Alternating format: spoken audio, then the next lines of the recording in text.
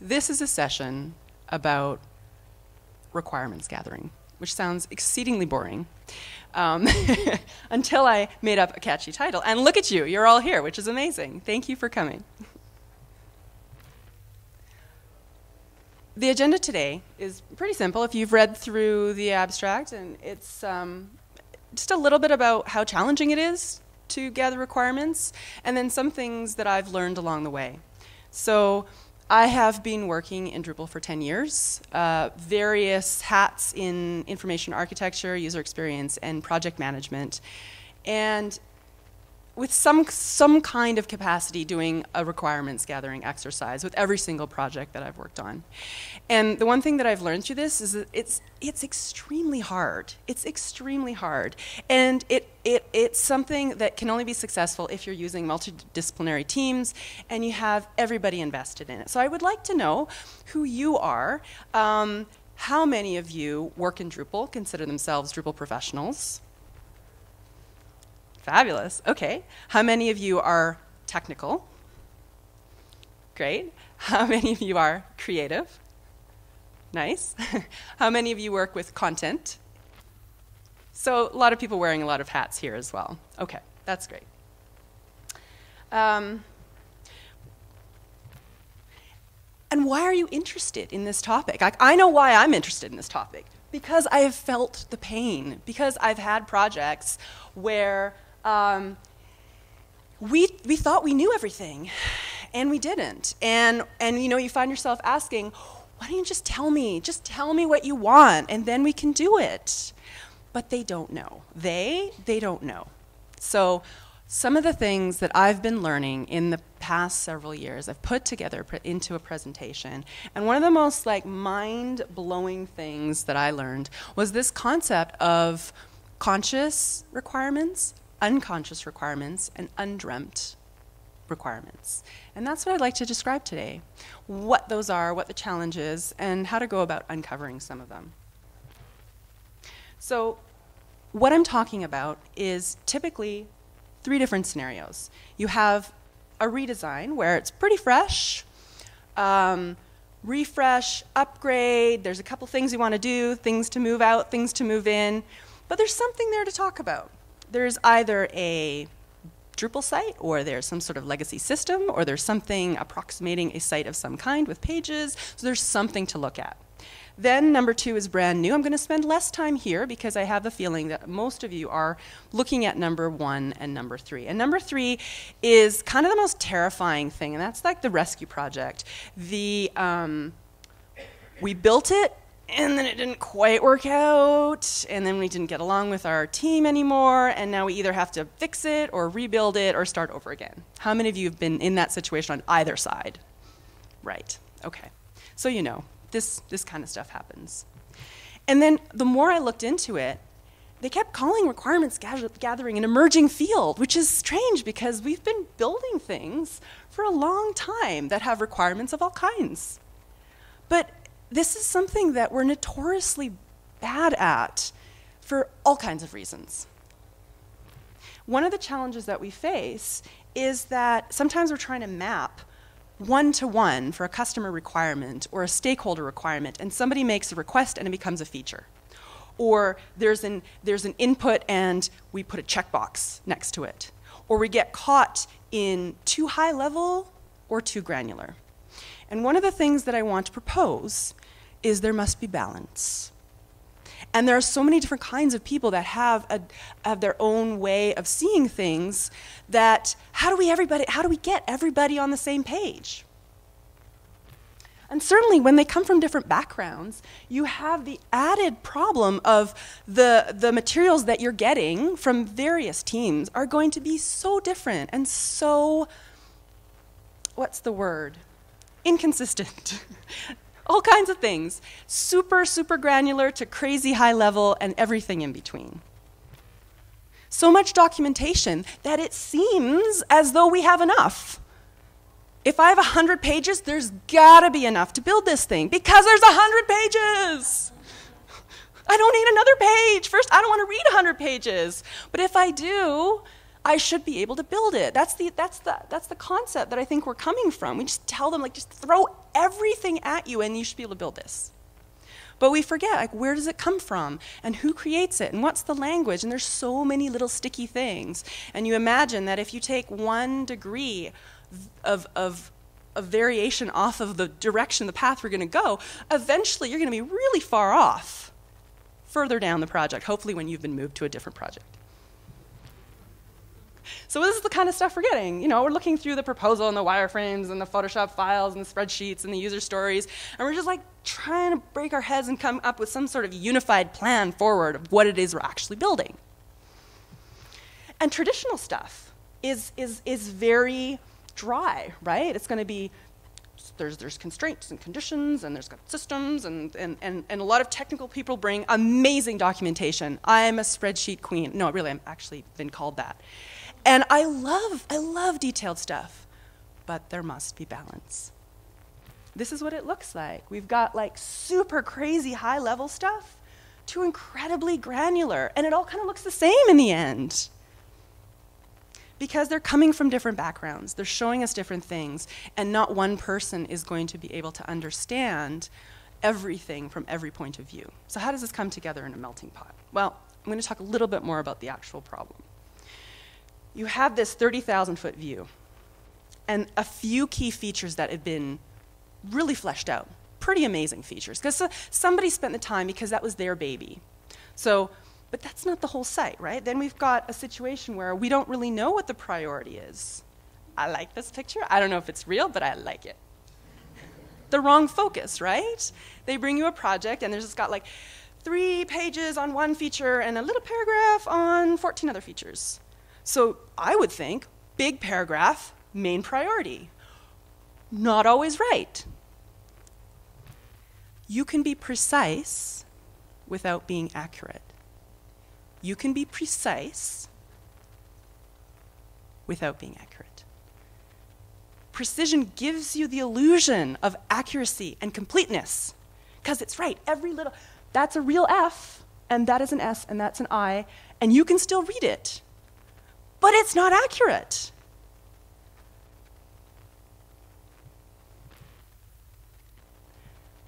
So, balance. What does that actually look like? I have a goal to first I got to understand what language you're speaking. What have you brought me? I got to fill in the gaps. I got to figure out is it high level? Is it low level? What do you think it is? Because that's a big deal. If you've given me, if you've given me something that you think is high level, and it's really very granular, there's a disconnect and there's something that we need to talk about. So, the very first objection you will have. But they're just like, if we say, no, this isn't what we need to do, and there's discovery, and we're going to spend time and money, and you have a deadline, they're just going to go to someone else. Yes, they will. Some of them will. And they will be back with a rescue project because they couldn't build it. So you need to ask yourself are you trying to win an argument or are you trying to win the war? Because if you build what was asked for but what, not what was needed, you're going to be the people they're leaving to go to someone else to, in many cases. I think we should all band together and do this thing. So, how are we going to do this? Um, we have these conscious requirements. So these are, these are the ones, the no-brainers. We need an events calendar because we have events and we need to know when they are. That's a good place to start. Great, there's tons to unpack there, but at least we know what it is. Unconscious requirements. This is really interesting to me because I've gone through a lot of projects that have started off in a crazy custom built legacy system that had all these automagical things happen. Some of them were business process, some of them were made just because that was the way that we figured out that we could make it. So they kind of force their business processes into that because that's what's the tool. And we had to try to figure out the difference. And then there's these undreamt requirements, things that they we'd love to be able to do if we would know about them and they don't know to ask and I don't know to ask because I don't know what that, that it's actually there or not. But the way forward is pretty subtle. They can't always articulate what they want. They may not answer in the, in the way that we ask them to answer. They only know what they've experienced, and they're not going to be experiencing things that you've experienced because they're coming from subject matter expertise, domain expertise, their business, and we're coming from tool expertise. We know how to build stuff. But this is the place where we can provide the most value. You want to be a rock star? This is the place where there is the potential to really, really knock it out of the park. Like the kind of pride that you come home and all those horrible 14 hour days, you're like, but I built this thing and they loved it. This is mining for gold. And this is a slide from Jared Spool's uh, keynote in 2011. I love it though because it kind of shows like we have we have process and product knowledge of our of our tools, of our system, of what we can build. They've got knowledge of their current system, they have knowledge of their business, and we need to all kind of get in the same place. So this process focuses on what I've highlighted there. So this might be a typical requirements gathering process. So you have, you're offered a, request, this is what we would like. There's some information gathering, there's some analysis, modeling, validation is an important one, and then towards the end, there's something that the salespeople do. I'm not going to cover that part. And I kind of think of it as like, what kind of requirement are you? Let me do a quiz. Do you like purple? Are you high level? Do you have visuals? Is there a diagram involved? There's somewhere, they're going to land in there, right? They're going to be like super big picture, really granular. But here's what to remember abstracts, the big picture stuff, that's what's going to give you the patterns. The patterns that make you make something that's going to be efficient, that's going to help you hit budget, that's going to be modular, that's going to be scalable. But there's the except when we do this thing and then we have it like this but on thursdays and then nancy comes in. But she does it a completely different way but we totally need to support her because she's really awesome and she's been here so long. Yeah? So specifics give you outliers and outliers cost a lot of money. But we want to find the middle way. We want to find the middle way. So conscious high level requirements loaded words like we want to build an online community or a membership portal. Or eventually we're going to do content personalization. I mean, these are so big, so big that they're their own project pretty much some of the time. And this like automagical thinking that, well, it was going to appear on the page, but it, you know, and this page is about swimming pools, so all the swimming pool stuff will appear here. But we don't actually have the IA to support any of that yet. So typically just request without a good understanding what it is, but you can understand where they're going with it very vague usually, kind of loaded. Granular conscious requirements are things like layout specifications without really having any IA done, or very specific content creation form requirements without actually knowing Drupal, or requests for very specific um, modules that maybe somebody told them were good for some other site that have nothing to do with their site, but they just, like, this is a good one. You need this one. And then some content editing screens I've seen described to the very last label and button. So this is the kind of granular stuff that is conscious, they've asked for it, but really needs a lot of pushback. The most challenging for me personally as an analytical person is this type of request. Where do you begin? But I found a way. We need to begin unpacking requirements with some business insight, with some content strategy, and with some information architecture. And when I see something like this, I know where to begin now because I start with the big picture. What, uh, what does this actually do? What do you do? And somewhere in there is the site that you're building. There's something, combination of those, that you can probably figure, okay, so this is what it is. This is what the purpose of the site is awesome. So this engaging thing that it needs to do, well, we have digital analytics for that. We have metrics, very well thought out metrics. And metrics, I don't, metrics, different than data. The analysis part is going to be totally different than the report that says all the percentages. So actually deciding what you're going to monitor is another session. um, And then we can go into the unconscious. And these are often assumptions about things, and you can tell because they have certain ways of referring to them. They'll say things like widget, or plugin, or feed.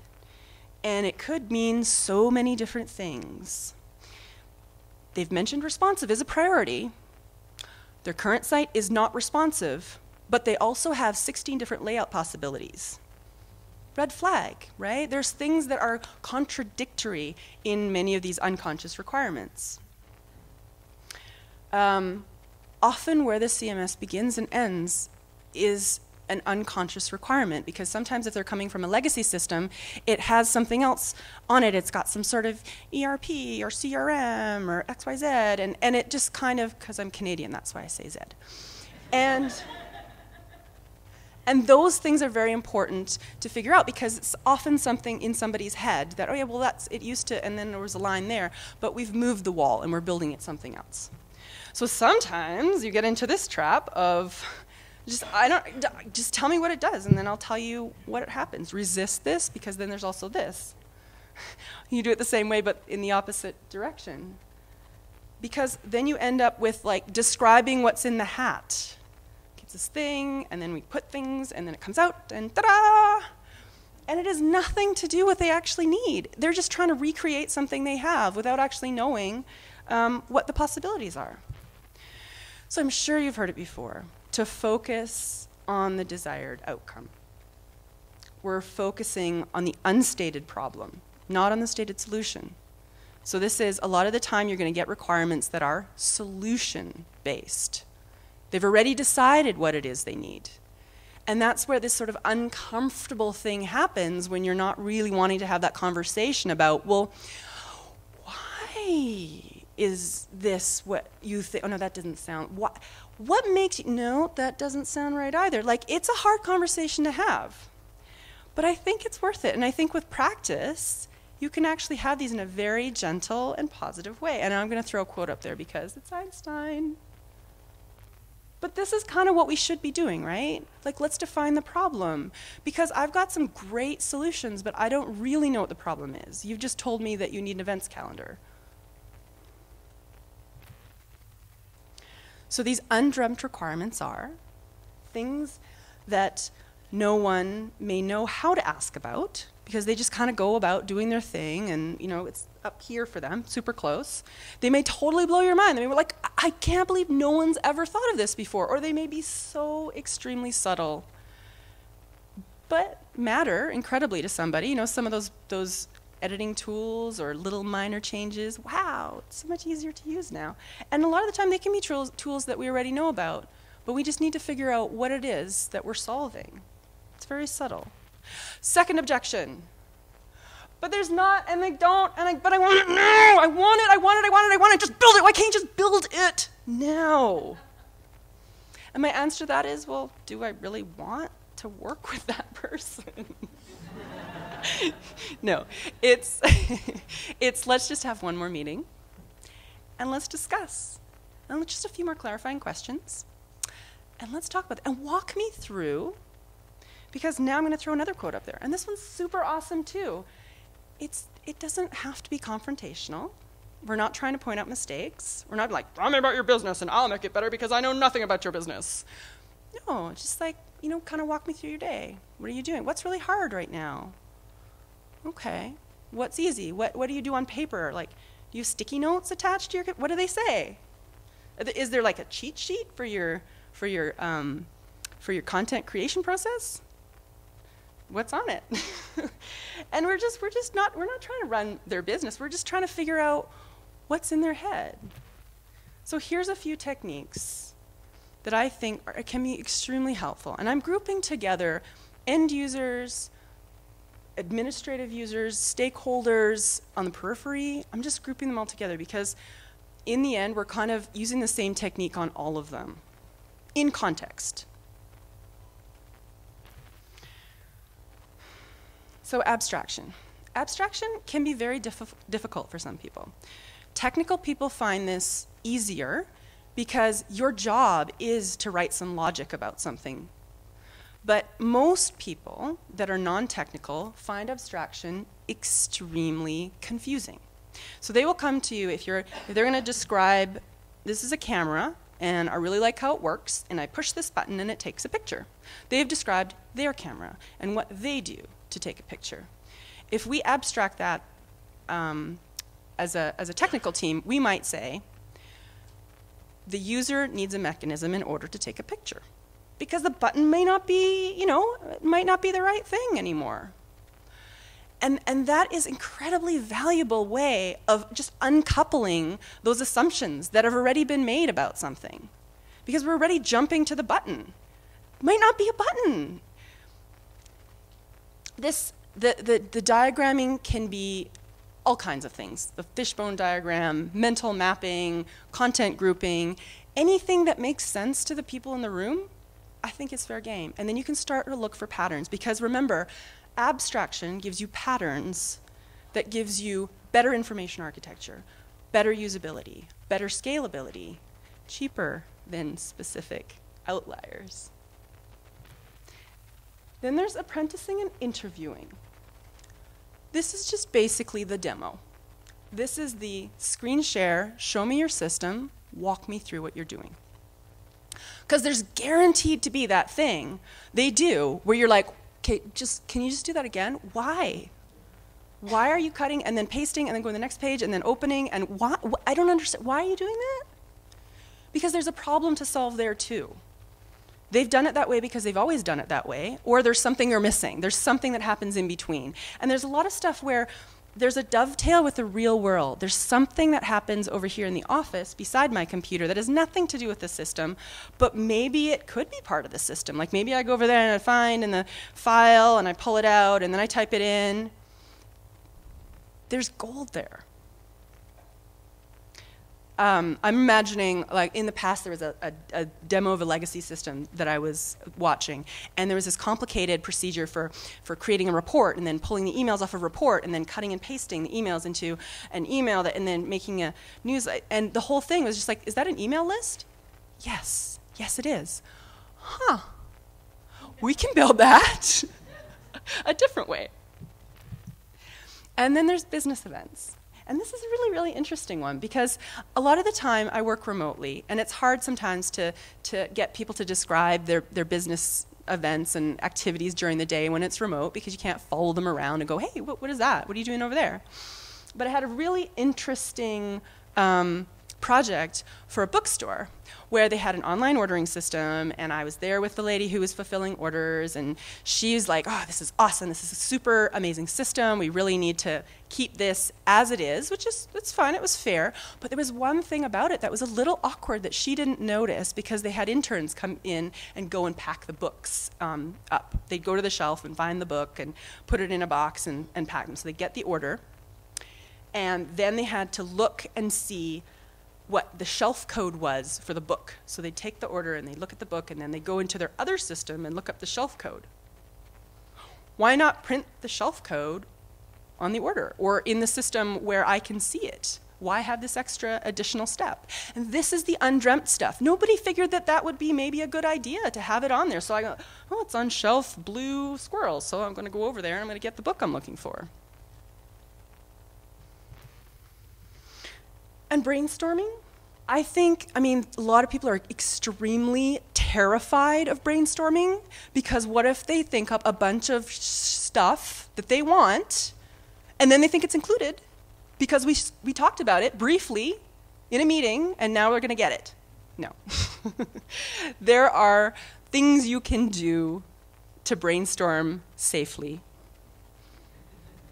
where you keep the creativity contained where you open up the box and not let everything fly out at people's faces and it's not that messy.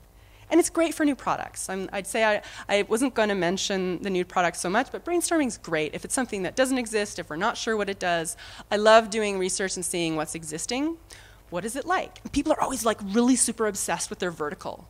Yes, but is it exactly the same as my product?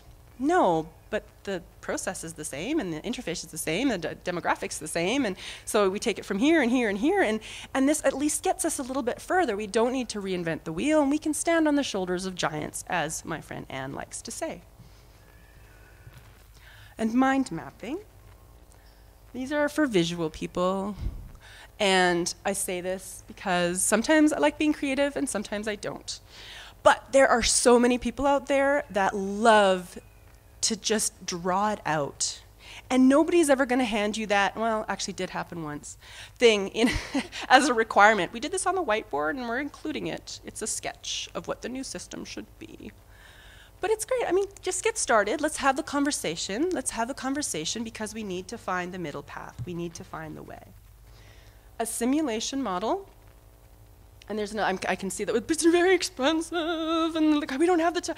This can really just be your wireframes and making them clickable. Or this can just be you know, just look at some screenshots of similar Drupal sites. The back end, of, like it'll be a little bit like this, except uh, it'll be your information here, and then you'll go here, and you can make a prototype. And I'm not talking about something fancy. You can make an approximation of what something's going to look like. And if you want to invest in some templates for a registration workflow, for a product purchase workflow, those are really valuable because we know what this stuff looks like but often our stakeholders and our clients don't. And if we just show them vanilla, a lot of the time, it's all right. But it also gives us the opportunity to discuss things that may not be exactly as they need. And all of a sudden, we've seen it on a piece of paper, and they're like, well, but we don't do that with our credit cards, and it there. And now we've had the conversation before we've built it.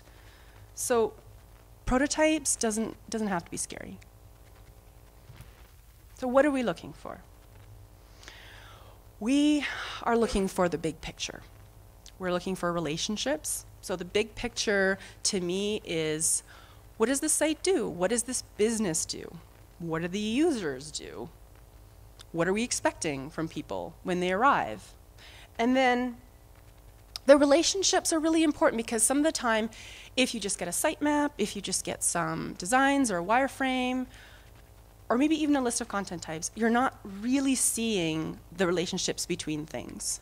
And it doesn't have to be an entity relationship diagram. It can just be that sketch, right? So we've got this professor and he's got a class and you know he's in this room and there's a building over here and just kind of show me how you imagine it to work because more often than not that natural relationship that is described in a business kind of way like this is how it works in the real world is actually a pretty good model for the system if it if it works. Like we're not going to force it, but me trying to think of relationships based on what I want to display is not as good as actually having a logical, sensible structure. That's the information architecture in me speaking.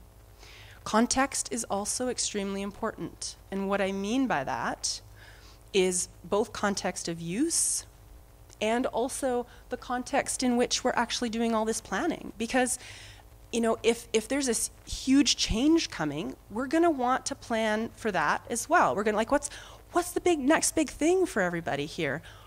What does the uh, what are the future problems? What does the system need to do in the in the near future? So contextually, if I'm using it, I'm using the site on my phone, where am I, what do I need to do, is different, but it's the same kind of context, like what is the, where am I in, the, in my situation, than where the business is in their online situation. Because there's often, when there's a redesign, there's some huge goals and huge leaps ahead, and there's things that the system needs to accomplish. So that brings me to priorities and reasons, because priorities can be really hard, because the, um, priorities sometimes come down to personal preference of whoever wears the biggest hat in the room or has the nicest title or something. But honestly, priorities need to be what makes sense for the organization. What is their mission and vision? And if you don't have that kind of person involved in the project, you're in trouble. Because then we're just designing it because you know, somebody's told me we need a new website, there's a list here, I need to follow it. If we don't have direction, then those very, very difficult decisions at the end when money's running low and we've got, you know, enough to build four and we really need six, and who's going to make that decision? It needs to be on somebody's head that has that mission and vision and grand scheme of things overall picture. Yes, we can do a little of this. What are our options? Because the reasons for things can be very complicated. You know, in Drupal, it's, it's cheap and fast to build features, but it can get really, really expensive when you want to customize things and change things and have them be just so.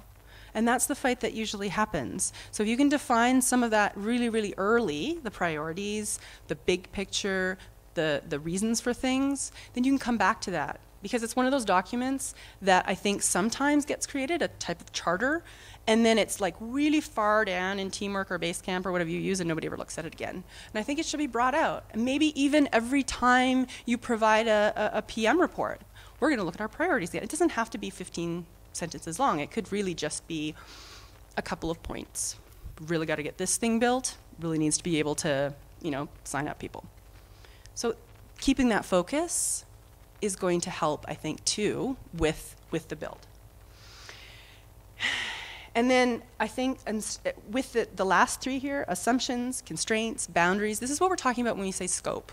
Scope is not what I need, scope is what I can build for you within this amount of time and this amount of money. Scope is not, I'm not going to get the thing, but I need the thing. It's like you have this much money and the cookie is this much and you don't you can't buy half a cookie, so what are we going to do? So these conversations, I think, are part of requirements gathering. And I'm a really big fan of having them conversations early, road mapping out all the things that you can think of over the next two years, and then drawing the lines. And then saying, okay, I understand that sometimes budgets can be managed creatively. There's plenty of organizations out there that split between years. They got to build this, they got to bill a certain way, but then they can build stuff. So all of those conversations, if you have account managers that can have those conversations, like how, you know, we're not trying to nickel and dime you, but how can we work creatively to actually build stuff with the resources that you have available? And resources, I would also include their content resources. Because if you're making an extremely large shift um, with content, that takes a lot of time and a lot of effort. so I think validation is a piece that we skim over. We'll send them the piece of, there it is, we've estimated it, there's our description, and there's all the discovery, assets, deliverables, elements, sign here please. And I really think that that's an opportunity to do the validation. Now, for stakeholders, that might be showing them high level stuff, maybe just some specifics on the priorities, how we got to the features, some of the exercises, some of the very key decisions that were made in order to bring us to a certain point, because nothing is as crappy as having some supervisor come down and say, "What you know? What have you been doing for the last six weeks? Everything's changed," and not being aware of the process, informed and invested and bought in, and understanding how we got to the place that now it looks completely different from what they asked for. That's a really, really difficult situation. So I think with this validation, there's many different ways of doing this, but in, but you want to focus on the decision makers and end users. Sometimes in the middle, those people get a little bit shortchanged, administrators, content creators, but there's a lot of room there because there's things that can shift in that area. I think for users, and this is another session perhaps, doing some user testing, navigation validation, all of those exercises in the UX realm um, are very valuable and showing that information as part of the presentation of requirements that have been gathered. We know that this is important because of this test that we did. We think that this actually can be left out because no one mentioned it during our interviews. And then comes the negotiation. I mean, it's a little bit of a trading card exercise. If you don't have the money for everything, then what comes in and what goes out and what needs to be changed. And sometimes if you affect one thing, everything else changes too, and it's incredibly difficult. But I think those are the conversations that aren't being had. Those difficult all stakeholders in how we got here, how we need to move forward conversations. So now what I want to do um, with a few minutes here is I'm going to leave some time for questions, but I want to actually use a metaphor because I do this with work um, with non-technical people. I want to say, okay, so we're catering a meal. If you just get a list of recipes, or if you just get ingredients, what are you going to be missing? I mean, there's this, there's high-level stuff, that is pretty important. Why are we having this meal? Who's coming? What, are there any allergies I need to know about? Like there's, there's some things that need to go into it. It is not just a list of stuff. and I'm going to go to the store and I'm to buy it and then I'm going to do the recipe and there it is. No, it's, there's this huge ecosystem around it that I'm trying to balance. So maybe the request is prepare an informal two course dinner for four and it must have protein. And they're probably not meaning protein powder. Right? But there's, there's things on our, there's things when we get a, an RFP where it can be interpreted that way, like protein, shrimp, or steak. I'm not sure. So that when we when we start to scope a little bit, we're going to we're going to apply the boundaries. It's going to be after 5. Yes, are available this time. Oh, we haven't even talked about when it's going to happen yet. Oh my gosh, have you ever had that? The RFP, and then the and then there's this whole big humongous thing that nobody ever talked about. This is why many lenses, using many tools, and validation walkthrough. So now we're going to do a little bit of fact gathering. I have a shellfish allergy, so I don't really want to be uh, serving shellfish to my guests because I would like to be alive for the rest of the dinner. And I like spicy food. I really like peppers. This may or may not be relevant, but they've given me the information that I can now look at and say, okay, I think I've got something to work with here. Because this is the kind of information that will help me figure out what and how. Because this is just enough. And then, you know, obviously that you can get into a lot more detail with something like this. I can do some analysis. I can get into a lot more detail. I think I think agile is so cool and I think waterfall's cool too, but somewhere in the middle is where everything is happening. and so some flexibility i find that with the, with the most successful projects the flexibility is that the client the stakeholders the team trust each other that if a change needs to be made that we're, we're not trying to screw each other we're just trying to make it well working and and make a beautiful product so in the end this is what was made and i think the, I chose a name that I can't pronounce for whatever reason. I thought that would be really clever. Um, but if I got that at the very beginning, I, I think that would have scared me off. I'm like, I don't know, I don't know how to make that. Or if I just got a picture of ingredients at the very beginning, I don't know what I'm making. I like olives. Maybe I'll just eat them plain. And the validation is like, so this is kind of what we're looking at. It's going to be this. Um, might switch out the napkin you know, so that matches your branding. And then at some point, they might have been thinking this, and I might have been thinking this.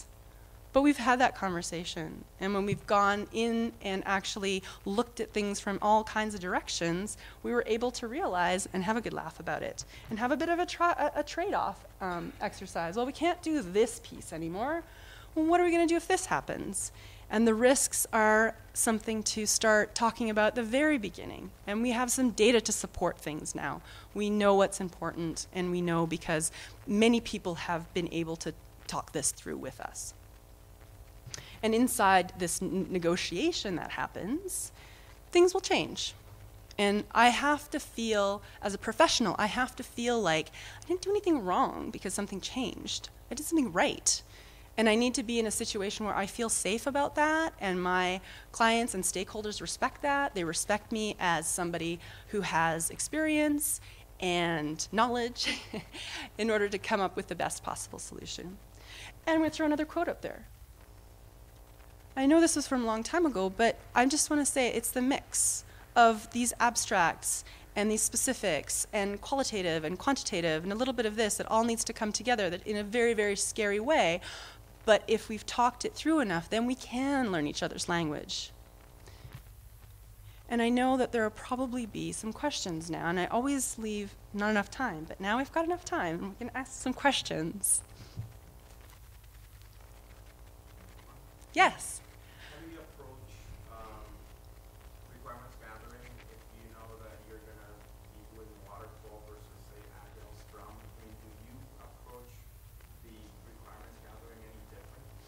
Yeah, that is a very interesting question. So the question was, how do you approach requirements gathering if it's an agile versus a waterfall approach? And I've done both, and I, I went and did the Scrum Master training and all of that. And I think there's a sort of this, this idea that with waterfall, we have to write it all down first, and we have to know every last detail until before we can actually begin. And with Agile, that we can just start. And I think the truth is somewhere in the middle, and you're going to have a similar list for both. I think Agile just means that we can stop and change our mind every two weeks. and waterfall sometimes means I can change my mind whenever you want. But and it just comes down to like how amiable are we to that? Sometimes that's what happens. But I think that if it's if it's a project that needs to be waterfall, it needs a lot more planning time up front. And they can't just hand you a big, you know, 100 page document and say it's all in there. And agile basically means that you can you can plan out you know larger chunks and then get into the details during the sprints.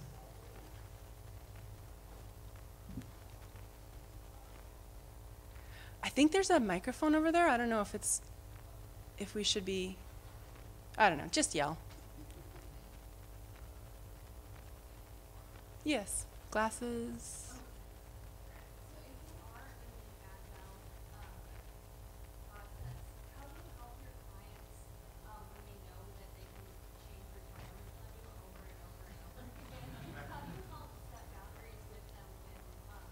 Yeah.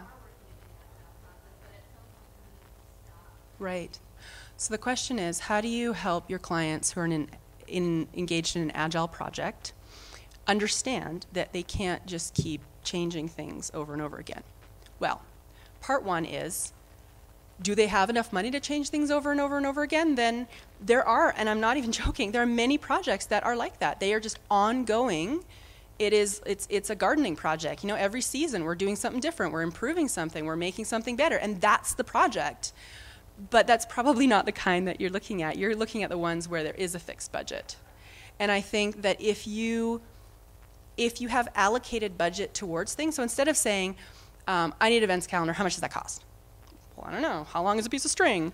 Um, what you what you can do is say of this budget how much should we allocate for this feature.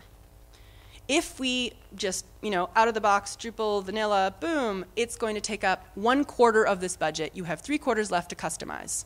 So they can change within that budget. I mean, I've done that before. That works really well. But like completely sweeping changes, well, then nobody was told what the website purpose was. If we're changing everything, like it's e commerce and community and now it's e learning, like which one is it? Let's just then, then the project's too big and it needs to be cut into smaller pieces. Does that help? Cool. Yes?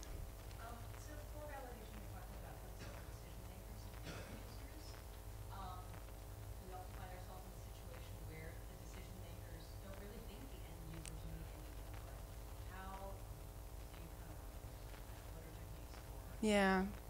Okay. So, had something like that recently. And there is, if you look at the web, web metrics, there is some sort of success factor that they can understand that makes it a successful website. So, for example, say I have content publishing, um, I've got people coming to the site, they're looking at ads, they're you know encouraged to sign up for something. There are things that we can measure as a business for them, right? Like, hey, so I usually ask, you know, what are you measuring? What are we starting off with? How many? And they're like, oh, it's Google and analytics, and it's all in there. No, what are you measuring as a business? You know, how, where are your subscriptions at? Oh, okay. And and how much do they usually go up every year? And how much would you like them to go up? And what if we could get some insight on user behavior for you because a lot of the time when you ask, what are users doing on your site, they'll be like, mm, Google Analytics says about page. Well, that's not what they're doing. What are they actually doing? So there are tools, and um, and some of them are can be really subtle. Guerrilla Analytics, too, you can get on the call, a support call. CSR, if anybody has customer support, if you're just like, hey, you know what, you can really cut the budget for FAQs and support. If we just can listen in a little bit or talk to your customer support people about what clients are asking, all of a sudden, whew, right? That customer support call, that's costing them something. If it's like $6 a call or $2 a call, and all of a sudden they're taking half as many, that's money. So the decision makers, if, if you can suggest that there might be a way to save some money, you can come up with a little plan and just kind of sneak in and try to find some stuff, more often than not, they're quite receptive. So instead of like, you know, I'm not asking if the users prefer red or blue. No. I'm, I'm, I'm, I'm not even asking them. Sometimes I'm just looking over their shoulder. Yeah. Cool.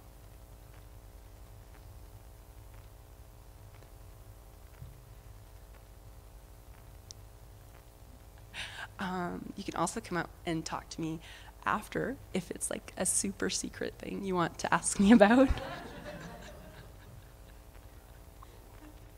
yes.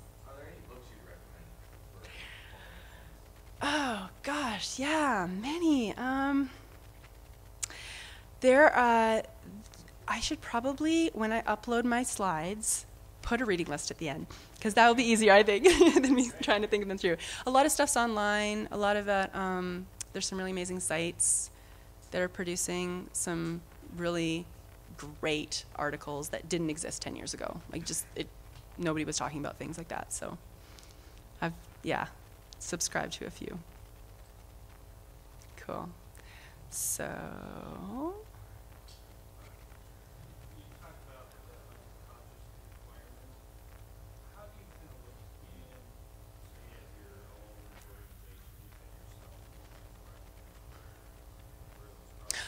Ah, yeah. Yeah, so the question is about um, how do you recognize unconscious requirements of your own organization? And um, let me just let me tell you a little metaphor. When I ask my kid who's 14 what she's done at school, she says, eh, you know, same stuff. And that's what we think about our own organization. Like, I, go, I show up to work and I enter some data and I process some things. And that's where I want granularity. Like, that's where, like, okay, you sit down, you push a button, you enter your password, you navigate to this. Like, I want to know where all those little individual things are that you're doing because some of those are going to be a little bit like unnecessary, funky, a little awkward. And and honestly, if you just make a log of all kinds of things to somebody else who's not been looking at it for years and years and years, when you kind of explain what you're doing, there'll be some questions. Somebody will say, oh, well, why do you, because when we do that, we have this thing and we pull it in the export. And so I think it's hard to tell culturally what's happening unless you go to a different country and see what are they doing over there. So there's, I think there's an incredible value to going to meetups and talking through processes with other organizations who have similar but different types of um, processes because they're going to say, we had that problem, we solved it this way, or we've been trying to do that for years, how did you do that? And again, those conversations, it's hard to, to do this in a silo. It's hard to do this all on your own.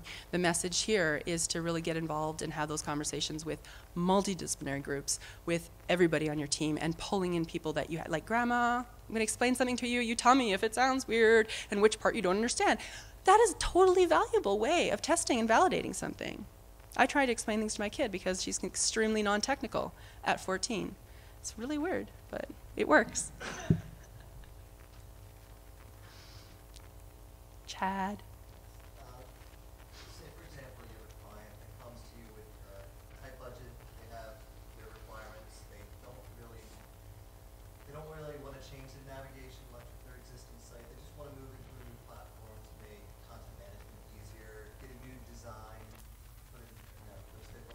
Mm-hmm. And you realize that their users are probably struggling with that navigation, and you know that they would probably benefit from some sort of a usability study, some sort of improvement to that. Yeah.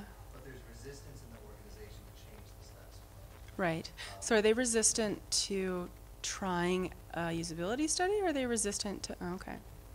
Um, so you want to try to provide value in this opportunity because doing it after the build is going to be more yeah. expensive. Yeah. Um, so I'm trying to figure out how to reconcile this because it's a common yeah. case. Yeah. So how do you bring in some usabil- usability research? How do you bring in the voice of the user if the stakeholders are resistant? Sometimes I do it secretly, and um, and what I mean by that is I I look at analytics, I look at the paths, um, I try to write out mission critical tasks. So you know, if your business is signing people up and they need to get through registration and everybody drops off at step two, do you want to find out why? Because I need a little bit of ammunition, right? You can't be like, let's see what you know what what we can find, because then they're just like you're just you're just digging holes and filling them in. But if you can find a little something and say, hey, so I noticed that this is really interesting thing happening to your site, and here it is. I'm seeing it in the analytics. Should we find out why? I guarantee you, like they give you a permission to just do that one piece, and that's going to give you, I think, the foot in the door to do a bit more. Yeah, secretly. Yes.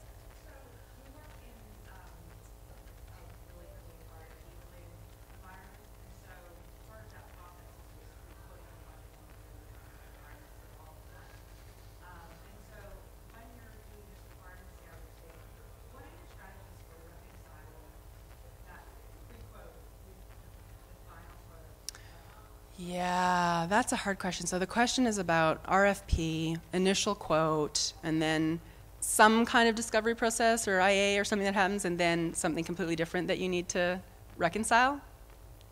Yeah? And do you document how you got from A to B? Because that's, yeah, okay.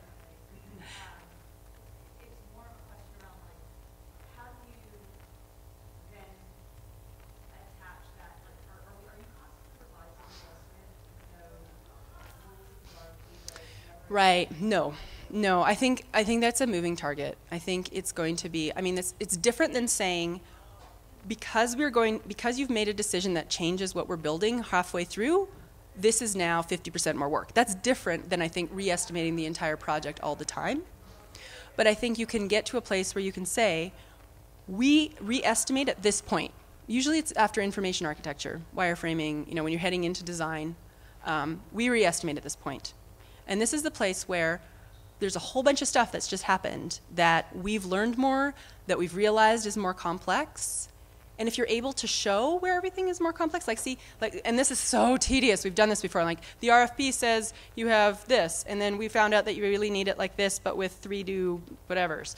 Uh, then you can map it out and say, because this is now more complex, we need to add more time for it. However, sometimes they go, but we don't want it to be that complex. We want it back to that original estimate. And then you're in that negotiation again, then you're in trade offs, and then you're, okay, so you've told us how it was built, because sometimes there's the legacy system that you're, they're trying to quote on. We've figured out that this is built in a really funky way, but really, we think that you only really need like, hmm, this piece here. All the rest, I don't know. This is, and this is a really big um, thing that happens with, with access and roles and permissions, in my experience. So there are people who leave their computer unlocked and their office door unlocked, and they work with people they like, but they want to nail down the access. So no one can edit my blog. And I just don't see why they want to spend money on that. If I'm friends with Nancy, poor Nancy, I'm just going to let her know that I edit my blog, please, Nancy. And if she's like, if she's having issues with that, that's an HR problem. That's not a technical problem.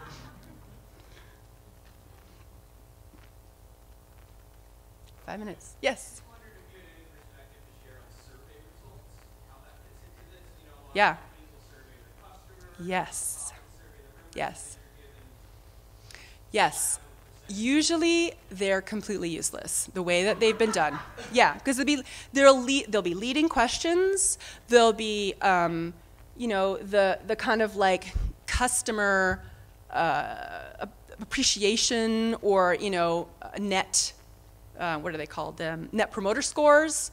Well there's nothing to do with the website. So like hey i really love your do you like do you like this pizza company? Yes, they do. They love our website. No, they've just said that they like your pizza. It has nothing to do with the website. So I really find that a lot of surveys, they just haven't really nailed it yet. Or they'll like, do you think our website is easy, not easy, difficult, not difficult? And, and it's just, people are just like, I just want the survey to be done. So I think a lot of surveys are done extremely poorly. And if you can pull out some information to show, like, this here's a little bit gray and fuzzy, we would like to maybe ask these questions again in a different way, in an educate, like, everybody thinks they can run a survey now because they can use the tool. The tool is not the way to get the best analysis because there's this thinking that has to go into the questions in order to actually get reasonable answers that are meaningful. So, I mean, that's difficult and hard conversation too. I've definitely had those. Like, hmm, yeah, so the survey. There's a few things I want to know. yes.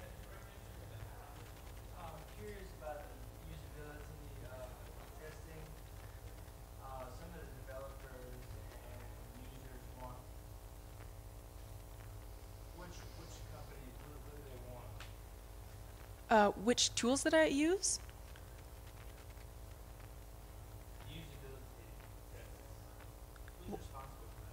Ah, um, I have a UX role, so I do uh, design a test.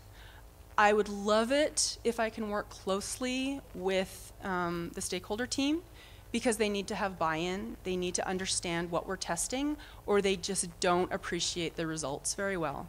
So there's different tools that I have, and it comes down to what do we want to find out? What are we trying to find out? User behavior, user preferences, um, is it, you know, optimal structure? Is it comprehension?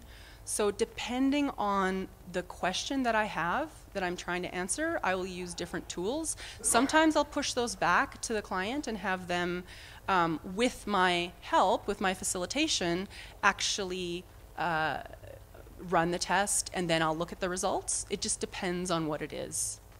Does that answer your question? A whole other session. cool. Well, I think we're kind of at time, so yeah. Thank you so much.